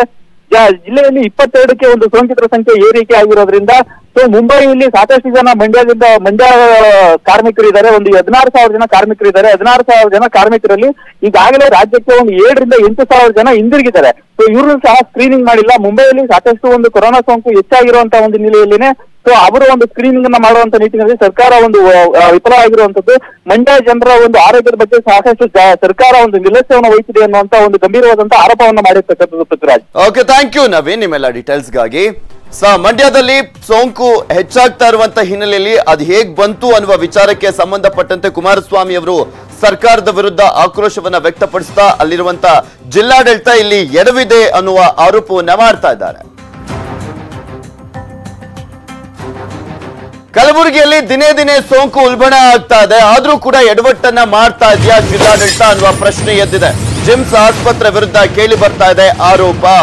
ಏನ್ ಆರೋಪ ಕೇಳಿ ಬರ್ತಾ ಇದೆ ಅಂದ್ರೆ, ಏನ್ ಎಡವಟ್ಟನ್ನ ಮಾಡ್ಕೊಳ್ತಾ ಇದೆ ಕಲಬುರಗಿಯಲ್ಲಿ, ಅಲ್ಲಿನ ಜಿಲ್ಲಾಸ್ಪತ್ರೆ ಅಂದ್ರೆ, ಕೊರೋನಾ ಶಂಕಿತರಿಗೂ ಹಾಗೆ ಸಾಮಾನ್ಯ ರೋಗಿಗಳಿಗೂ ಒಂದೇ ಕಡೆ ಚಿಕಿತ್ಸೆಯನ್ನ ನೀಡಲಾಗ್ತಾ ಇದೆ ಎನ್ನುವ ಆರೋಪ ಈಗ ಕೇಳಿ ಬರ್ತಾ ಇರುವಂತದ್ದು ಕೊರೋನಾ ಸೋಂಕಿತರೇನಿದ್ದಾರೆ ಅವ್ರಿಗೂ ಕೂಡ ಒಂದೇ ಹಾಸ್ಪಿಟ್ಲು ಮತ್ತೆ ಸಾಮಾನ್ಯ ರೋಗಿಗಳಿಗೂ ಕೂಡ ಅದೇ ಆಸ್ಪತ್ರೆಯಲ್ಲಿ ಚಿಕಿತ್ಸೆಯನ್ನ ನೀಡಲಾಗ್ತಾ ಇದೆ ಅನ್ನುವ ಆರೋಪ ಕೇಳಿ ಬರ್ತಾ ಇರುವಂತದ್ದು. ಒಂದೇ ವಾರ್ಡ್ನಲ್ಲಿ ಎಲ್ರಿಗೂ ಚಿಕಿತ್ಸೆಯನ್ನ ನೀಡ್ತಾ ಇರುವಂತ ಆರೋಪ ಇದೆ.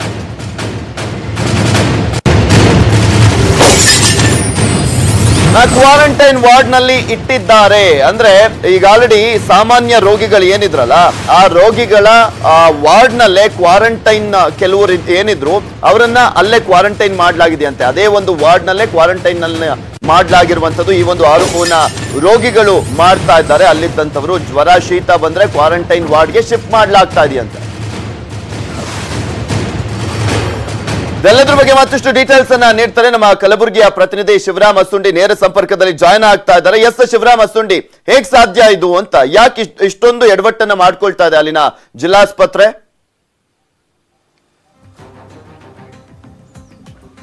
ಪೃಥ್ವಿರಾಜ್ ಜಿಮ್ಸ್ ಆಸ್ಪತ್ರೆ ಏನಿದೆ ಅಲ್ಲ, ಅವ್ಯವಸ್ಥೆ ಆಗಲ್ಲ ಅಂತಾನೆ ಹೇಳ್ಬೋದು. ಅಲ್ಲಿ ಏನಂದ್ರೆ ಒಂದ್ ರೀತಿಯಲ್ಲಿ ಅಲ್ಲೇನು ಹೋಗ್ತಾ ಇದ್ದಾರೆ, ನರಕ ನರಕ ಎದುರಿಸುವಂತ ಪರಿಸ್ಥಿತಿ ನಿರ್ಮಾಣವಾಗಿದೆ. ಕೆಲವೊಬ್ರು ವಿಡಿಯೋ ತೆಗೆದು ಹೊರಗೆ ಹಾಕಿದ್ದಾರೆ, ಅಂದ್ರೆ ಬಹಿರಂಗಪಡಿಸಿದ್ದಾರೆ. ಈ ರೀತಿ ಇಲ್ಲಿ ಯಾವುದೇ ರೀತಿಯ ಟ್ರೀಟ್ಮೆಂಟ್ ಸಿಗ್ತಾ ಇಲ್ಲ. ಒಂದ್ ಕಡೆ ಶಂಕಿತರು ಏನಿದ್ದಾರೆ ಕೊರೋನಾ ಶಂಕಿತರು, ಅವ್ರಿಗೆ ಅಂದ್ರೆ ಅವ್ರ ಥ್ರೋಟ್ ಸ್ಯಾಂಪಲ್ ಕಳ್ಸಿಕೊಡ್ಲಾಗಿರುತ್ತೆ. ಅಂತವ್ರ ಜೊತೆ ಬೇರೆ ಜ್ವರ, ನೆಗಡಿ ಕೆಂಪು ಬೇರೆ ಏನು ಜನರಲ್ ಚೆಕಪ್ಗೆ ಅಂತ ಬಂದಂತವ್ರಿಗೂ ಸಹ ಅಡ್ಮಿಟ್ ಮಾಡ್ತಾ ಇದ್ರೆ. ಕೇವಲ ಅಡ್ಮಿಟ್ ಮಾಡೋದೊಂದೇ ಅಲ್ಲ, ಸರಿಯಾದ ರೀತಿ ಚಿಕಿತ್ಸೆನೂ ಕೊಡಲ್ಲ, ಕೇವಲ ಒಂದು ಟ್ಯಾಬ್ಲೆಟ್ ಕೊಟ್ಟು ಹೋಗ್ತಾ ಇದ್ದಾರೆ ಇದರಿಂದ ನಮಗೆ ಇಲ್ಲಿಂದ ಬೀಳ್ಕೊಡ್ ಬಿಟ್ಕೊಟ್ರೆ ಸಾಕು ಅನ್ನೋ ಪರಿಸ್ಥಿತಿ ಕೆಲವೊಬ್ರು ಅಳಲ್ ತೋಡ್ಕೊಂಡಿದ್ದಾರೆ. ಈ ರೀತಿಯ ಪರಿಸ್ಥಿತಿ ನಿರ್ಮಾಣವಾಗಿದೆ. ಈ ಹಿಂದೆಯೂ ಸಹ ಪಿ ಪಿ ಕಿಟ್ ಹಾಕ್ಲಾರ್ದಂತಾನೆ ಒಬ್ಬ ನರ್ಸ್ ಏನು ವಾರ್ಡ್ ಬಾಯ್ಗೆ ಕೊರೋನಾ ಸೋಂಕಿತನಿಗೆ ಚಿಕಿತ್ಸೆ ಕೊಡ್ಲಿಕ್ಕೆ ಕಳಿಸ್ಕೊಟ್ಟಿದ್ರು. ಅವನು ಈಗ ಸದ್ಯ ಕ್ವಾರಂಟೈನ್ ಅಲ್ಲಿ ಇದ್ದಾನೆ ಅದೇ ರೀತಿ ಒಬ್ಬ ಪಾಸಿಟಿವ್ ಪೇಷಂಟ್ಗೆ ಒಂದು ವರ್ಷದ ಬಾಲಕನಿಗೆ ಚಿಕಿತ್ಸೆ ಕೊಟ್ಟ ಪರಿಣಾಮವಾಗಿ ಓರ್ವ ವೈದ್ಯ, ಪಾಸಿಟಿವ್, ಓರ್ವ ವೈದ್ಯಗೆ ಪಾಸಿಟಿವ್ ಬಂದಿತ್ತು. ಈ ರೀತಿಯ ನಿರ್ಲಕ್ಷ್ಯಕ್ಕೆ ಇವೆಲ್ಲವೂ ಕಾರಣ. ಅಂದ್ರೆ ಒಟ್ಟಾರೆ ಇಲ್ಲಿ ಸರಿಯಾದ ರೀತಿಯಲ್ಲಿ ಮಾಸ್ಕ್ ಕೊಡ್ತಾ ಇಲ್ಲ ಅನ್ನೋದು ಆರೋಪ ಇದೆ. ಜೊತೆಗೆ ಈ ಬಂದವರು ಏನು ಶಂಕಿತರನ್ನ ಪ್ರತ್ಯೇಕವಾಗಿ ಮತ್ತು ಜನರಲ್ ವಾರ್ಡ್ನ ಜನರಲ್ ಆಗಿ ಚೆಕಪ್ ಬಂದಂತವ್ರು ಮತ್ತು ಜನರಲ್ ಏನ್ ಟ್ರೀಟ್ಮೆಂಟ್ ಬಂದಂತವ್ರನ್ನ ಸಪರೇಟ್ ಆಗಿ ಇಡ್ತಾ ಇಲ್ಲ. ಎಲ್ಲರೂ ಒಂದ್ ಕಡೆ ಇರೋದ್ರಿಂದಾಗಿ ವಾರ್ಡ್ ಅಂತ ಸಪರೇಟ್ ಇಲ್ವಾ ಶಿವರಾಮ ಸುಂಡಿ? ಇದ್ರ ಬಗ್ಗೆ ಡಿ ಎಚ್ ಒನು ಕೂಡ ತಲೆ ಕೆಡ್ಸ್ಕೊಂಡಿಲ್ವಾ? ಜಿಲ್ಲಾಧಿಕಾರಿಗಳು ಕೂಡ ಇದ್ರ ಬಗ್ಗೆ ಗಮನ ಹರಿಸಿಲ್ವಾ? ಅವ್ರಿಗೇನಾದ್ರೂ ಬಂದ್ರೆ ಏನಾಗತ್ತೆ ಅಂತ? ಪೃಥ್ವಿರಾಜ್ ಕೋವಿಡ್ ನೈನ್ಟೀನ್ ಪ್ರತ್ಯೇಕ ವಾರ್ಡ್ ಇದೆ. ಇ ಎಸ್ ಐ ಮತ್ತು ಜಿಮ್ಸ್ ಆಸ್ಪತ್ರೆಯಲ್ಲಿ ಎರಡು ಕಡೆ ಇದೆ. ಆದ್ರೆ ಇಲ್ಲಿ ಕೋವಿಡ್ ನೈನ್ಟೀನ್ ಪ್ರತ್ಯೇಕ ಐಸೋಲೇಷನ್ ವಾರ್ಡ್ ಏನಿದೆ, ಅಲ್ಲಿ ಕೇವಲ ಪಾಸಿಟಿವ್ ಏನು ಪ್ರಕರಣಗಳಿಗೆ ಮಾತ್ರ ಟ್ರೀಟ್ಮೆಂಟ್ ಕೊಡಲಾಗುತ್ತೆ. ಅದಾದ ನಂತರ ಈಗೇನು ಯಾರೋ ಸಸ್ಪೆಕ್ಟೆಡ್ ಇರ್ತಲ್ಲ ಯಾರಿಗಾದ್ರೂ ಅಂದ್ರೆ ಸೆಕೆಂಡ್ರಿ ಕಾಂಟ್ಯಾಕ್ಟ್ ಈ ತರದ ಕಾಂಟ್ಯಾಕ್ಟ್ ಇದ್ದಂತವ್ರಿಗೆ ಅವ್ರನ್ನ ತಂದು ಸಸ್ಪೆಕ್ಟೆಡ್ ಯಾರು ಇರ್ತಾರೋ ಅವ್ರನ್ನ ತಂದು ಪ್ರತ್ಯೇಕವಾಗಿ ಇಡ್ಲಾಗ್ತಾ ಇದೆ. ಹಾಗೆ ಪ್ರತ್ಯೇಕವಾಗಿ ಇಡ್ಲಾಂತವ್ರ ಜೊತೆಗೆ ಬೇರೆ ಪೇಷಂಟ್ಗಳು ಸಹ ಇಡೋದು ಆತಂಕಕ್ಕೆ ಕಾರಣವಾಗಿದೆ Prithviraj. Okay thank you Shivarama Sundi ನಿಮ್ಮೆಲ್ಲ ಡೀಟೇಲ್ಸ್ಗಾಗಿ ಇನ್ನು ಕಲಬುರಗಿಯಲ್ಲಿ ಸೋಂಕಿತರ ಸಂಖ್ಯೆ ಹೆಚ್ಚಳ ಆಗ್ತಾ ಇರೋದ್ರ ಜೊತೆಗೆ ಈ ಒಂದು ಆತಂಕ ಮನೆ ಮಾಡಿದೆ. ಸಾಮಾನ್ಯ ರೋಗಿಗಳು ಮತ್ತೆ ಕ್ವಾರಂಟೈನ್ನಲ್ಲಿ ಇಡುವಂತ ರೋಗಿಗಳನ್ನ ಕೂಡ ಒಂದೇ ವಾರ್ಡ್ನಲ್ಲಿ ಹಾಕ್ಬಿಟ್ಟು ಚಿಕಿತ್ಸೆಯನ್ನು ನೀಡಲಾಗ್ತಾ ಇರುವಂತಹ ಹಿನ್ನೆಲೆಯಲ್ಲಿ ಅಲ್ಲಿರುವಂತಹ ಸಾಮಾನ್ಯ ರೋಗಿಗಳು ಆಕ್ರೋಶವನ್ನ ಹೊರಹಾಕ್ತಿದ್ದಾರೆ ಕಲಬುರಗಿಯಲ್ಲಿ ಸೋಂಕಿತರ ಸಂಖ್ಯೆ ಹೆಚ್ಚಳ ಆಗ್ತಾ ಇದೆ. ಕ್ವಾರಂಟೈನ್ಗಾಗಿ ನಗರದ ಲಾಡ್ಜ್ಗಳನ್ನ ಈಗ ವಶಕ್ಕೆ ಪಡೆಯಲಾಗ್ತಾ ಇದೆ. ನಲವತ್ತೆಂಟು ಲಾಡ್ಜ್ಗಳನ್ನ ಜಿಲ್ಲಾಡಳಿತ ತನ್ನ ವಶಕ್ಕೆ ಪಡೆದುಕೊಳ್ಳುವುದಕ್ಕೆ ಸೂಚನೆಯನ್ನ ನೀಡಿರುವಂತದ್ದು ಆರೋಗ್ಯ ಇಲಾಖೆಗೆ ಹಸ್ತಾಂತರಿಸಲಿಕ್ಕೆ ಆದೇಶವನ್ನ ಹೊರಡಿಸಿದೆ. ಲಾಡ್ಜ್ ಮಾಲೀಕರಿಗೆ ಜಿಲ್ಲಾಡಳಿತದ ಸೂಚನೆ ಇದು. ಆರೋಗ್ಯ ಇಲಾಖೆಯಿಂದ ನಿಗದಿತ ಬಾಡಿಗೆಯನ್ನ ಕೂಡ ಕೊಡುವಂತ ವಿಚಾರಕ್ಕೆ ಸಂಬಂಧಪಟ್ಟಂತೆ ಈಗ ಆಲ್ರೆಡಿ ಮಾತುಕತೆ ಆಗ್ತಾ ಇದೆಯಂತೆ. ಕಲಬುರಗಿ ಜಿಲ್ಲಾಧಿಕಾರಿ ಆಗಿರುವಂತ ಬಿ. ಶರತ್ ಅವರು ಈ ಒಂದು ಆದೇಶವನ್ನ ಹೊರಡಿಸಿದ್ದಾರೆ. ಕಲಬುರಗಿಯಲ್ಲಿ ಸೋಂಕಿತರ ಸಂಖ್ಯೆ ಹೆಚ್ಚಳ ಆಗ್ತಾ ಇರುವಂತ ಹಿನ್ನೆಲೆಯಲ್ಲಿ ಅವರ ಪ್ರೈಮರಿ ಕಾಂಟ್ಯಾಕ್ಟ್ ಗಳನ್ನ ಕ್ವಾರಂಟೈನ್ ಮಾಡಬೇಕಾಗಿರುವಂತಹ ಹಿನ್ನೆಲೆಯಲ್ಲಿ ಹೋಟೆಲ್ಗಳನ್ನ ಈಗ ಬಾಡಿಗೆಗೆ ತೆಗೆದುಕೊಳ್ಳಲಾಗ್ತಾ ಇದೆ.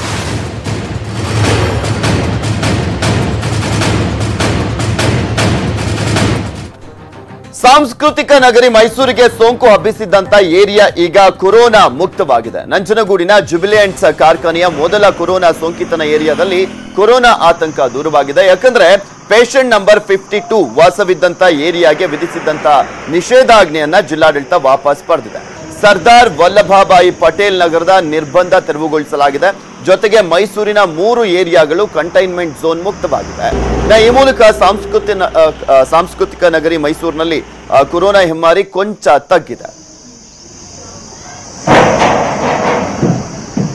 ಇದೇ ವಿಚಾರಕ್ಕೆ ಸಂಬಂಧಪಟ್ಟಂತೆ ನಮ್ಮ ಪ್ರತಿನಿಧಿ ಅಲ್ಲಿ ಪ್ರತ್ಯಕ್ಷ ವರದಿಯನ್ನ ಕೊಟ್ಟಿದ್ದಾರೆ. ನೋಡ್ಕೊಂಬರೋಣ ಇಡೀ ಮೈಸೂರಿಗೆ ಕೊರೋನಾ ಸೋಂಕು ಹಬ್ಬಿಸಿದ್ದವನ ಏರಿಯಾದಲ್ಲಿ ಈಗ ಕೊರೋನಾ ಮುಕ್ತವಾಗಿದೆ. ಜುಬಿಲೆಂಟ್ ಕಾರ್ಖಾನೆಯ ಮೊದಲ ಸೋಂಕಿತ ಪಿ ಫಿಫ್ಟಿ ಟು ವಾಸವಿದ್ದ ಸರ್ದಾರ್ ವಲ್ಲಭಾಯಿ ಪಟೇಲ್ ನಗರ ಇಂದಿನಿಂದ ಕೊರೋನಾ ಮುಕ್ತವಾಗಿದೆ. ಆ ಹಿನ್ನೆಲೆಯಲ್ಲಿ ಮೈಸೂರಿನ ಜಿಲ್ಲಾಡಳಿತ ಸರ್ದಾರ್ ವಲ್ಲಭಾಯಿ ಪಟೇಲ್ ನಗರವನ್ನ ಕಂಟೈನ್ಮೆಂಟ್ ಝೋನ್ನಿಂದ ಕೈಬಿಟ್ಟಿದೆ. ಇವತ್ತು ನಿನ್ನೆ ಅಧಿಕೃತವಾಗಿ ಆದೇಶವನ್ನು ಹೊರಡಿಸಿರುವಂಥ ಮೈಸೂರು ಜಿಲ್ಲಾಡಳಿತ ಸರ್ದಾರ್ ವಲ್ಲಭಾಯಿ ಪಟೇಲ್ ನಗರದಲ್ಲಿ ಪಿ ಫಿಫ್ಟಿ ಟೂ ವ್ಯಕ್ತಿ ವಾಸವನ್ನು ಮಾಡ್ತಾ ಇದ್ರು. ಹಾಗಾಗಿ ಆ ಏರಿಯಾವನ್ನ ಕಂಟೈನ್ಮೆಂಟ್ ಝೋನ್ ಅಂತ ಘೋಷಣೆ ಮಾಡಿ ಇಡೀ ಏರಿಯಾವನ್ನ ಸಂಪೂರ್ಣವಾಗಿ ನಿಷೇಧ ಮಾಡಲಾಗಿತ್ತು. ಆ ಏರಿಯಾಗೆ ಹೋಗುವಂತ ಎಲ್ಲ ರಸ್ತೆಗಳನ್ನ ಬಂದ್ ಮಾಡಿ, ಬ್ಯಾರಿಕೇಡ್ಗಳನ್ನು ಅಳವಡಿಸಿ ಹಾಗೂ ಪೊಲೀಸ್ ಸಿಬ್ಬಂದಿಗಳನ್ನು ನಿಯೋಜನೆ ಮಾಡಲಾಗಿತ್ತು. ಮತ್ತು ಏರಿಯಾಗೆ ಬೇಕಾದಂಥ ಅಗತ್ಯ ವಸ್ತುಗಳನ್ನು ಜಿಲ್ಲಾಡಳಿತದಿಂದಲೇ ಪೂರೈಸಲಾಗ್ತಾ ಇತ್ತು. ಆದರೆ ಕಳೆದ ಇಪ್ಪತ್ತ ಎಂಟು ದಿನಗಳಿಂದ ಯಾವುದೇ ರೀತಿಯಾದಂಥ ಸೋಂಕು ಈ ಏರಿಯಾದಲ್ಲಿ ಪತ್ತೆ ಆಗದೇ ಇರೋದ್ರಿಂದ ಈ ಏರಿಯಾವನ್ನು ಕಂಟೈನ್ಮೆಂಟ್ ಝೋನ್ನಿಂದ ಬಿಡುಗಡೆ ಮಾಡಿ ಸಂಪೂರ್ಣವಾಗಿ ಮುಕ್ತವಾಗಿ ಓಡಾಡೋದಕ್ಕೆ ಅವಕಾಶವನ್ನು ಕೊಟ್ಟಿದ್ದಾರೆ. ಜೊತೆಗೆ ಯಾವುದೇ ರೀತಿಯಾದಂಥ ಅಡೆತಡೆಗಳು ಈ ಏರಿಯಾದಲ್ಲಿ ಸದ್ಯಕ್ಕೆ ಕಂಡು ಬಂದಿಲ್ಲ. ಜುಬ್ಲೆಂಟ್ ಕಾರ್ಖಾನೆಯ ಮೊದಲ ಸೋಂಕಿತ ಪಿ ಫಿಫ್ಟಿ ಟು ಸಹ ಆಸ್ಪತ್ರೆಯಿಂದ ಡಿಸ್ಚಾರ್ಜ್ ಆಗಿದ್ದಾರೆ. ಇದೀಗ ಅವರ ಏರಿಯಾವು ಸಹ ಸಂಪೂರ್ಣವಾಗಿ ಕೊರೋನಾದಿಂದ ಮುಕ್ತವಾಗಿದ್ದು ಮೈಸೂರಿಗೆ ಇದ್ದಂಥ ಒಂದು ದೊಡ್ಡ ಮಟ್ಟದ ಆತಂಕ ಈಗ ದೂರವಾಗಿದೆ ಅಂತ ಹೇಳ್ಬೋದು. ಯಾಕಂದ್ರೆ ಜುಬ್ಲೆಂಟ್ ಕಾರ್ಖಾನೆಯಿಂದ ಇಡೀ ಮೈಸೂರಿಗೆ ಸೋಂಕು ಹಬ್ಬಿತ್ತು. ಜುಬ್ಲೆಂಟ್ ಕಾರ್ಖಾನೆಯ ಮೊದಲ ಸೋಂಕಿತನ ಏರಿಯಾವೇ ಈಗ ಕೊರೋನಾ ಮುಕ್ತವಾಗಿರೋದ್ರಿಂದ ಇಡೀ ಮೈಸೂರಿನಾದ್ಯಂತ ಕೊರೋನಾದ ಆತಂಕ ದೂರವಾಗ್ತಾ ಇದೆ ಅಂತಾನೆ ಹೇಳ್ಬೋದು. ಮಧು ಜೊತೆ ಪುಟ್ಟಪ್ಪ ನ್ಯೂಸ್ ಏಟಿನ್ ಕನ್ನಡ, ಮೈಸೂರು.